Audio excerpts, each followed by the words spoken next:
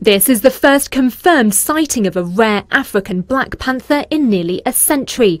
That's according to researchers from the San Diego Zoo who were studying ordinary leopards in Kenya's Laikipia County when the elusive cat made its debut. Black leopards, which are also called panthers, carry a gene mutation that makes their coats black. But the infrared cameras used by the team help show off their spots. British wildlife photographer Will Burrard Lucas also captured the creature nearby. We have something. All I can see is eyes, but this is a black leopard emerging from the darkness. Look at this. Nicholas Pilfold from the San Diego team explains why they're such a special find.